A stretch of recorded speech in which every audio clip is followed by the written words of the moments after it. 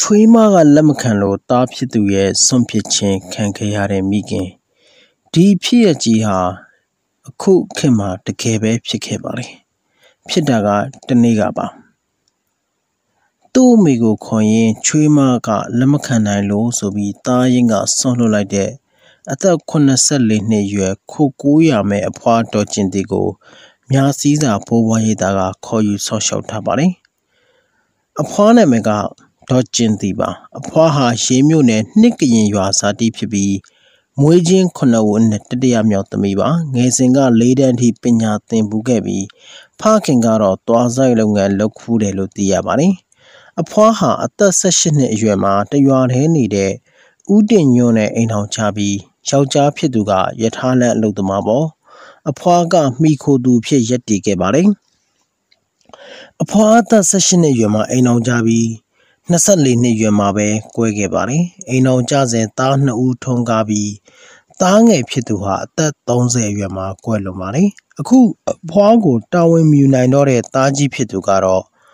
ကော့တွရွာသူနဲ့အိမ်အောင်ကြပြီးကော့တွရွာမှာပဲနေထိုင်တယ်လို့သိရပါတယ်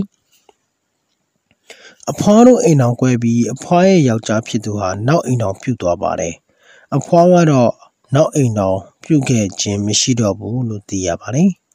အဖွားဟာတယောက်ထင်းနေထိုင်ရင်နေအိမ်ကိုလည်းကျမ်းမာရေးသိမ့်မကောင်းလို့စေကူတာစီနဲ့လိုအပ်လို့ပထမပေါင်နှံနောက်တော့ထပ်မံရောင်းချခဲ့ရပြီး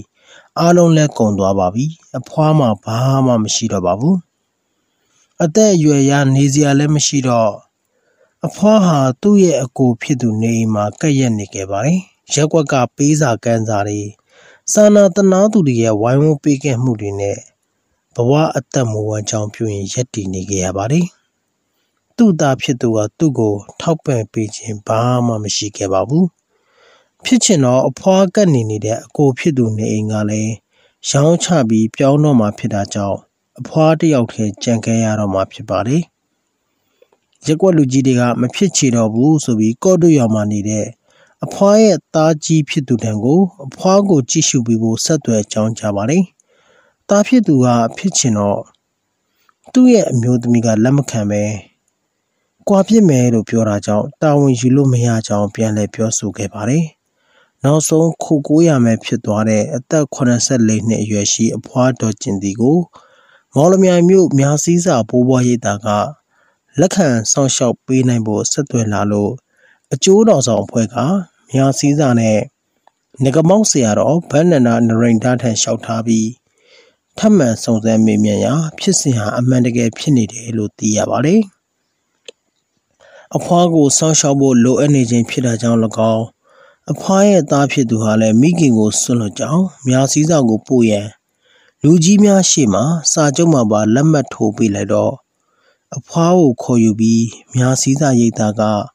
နေရေးကနေသေရေးထိဘဝနေဝင်ခြင်းတစ်ခုလုံးကို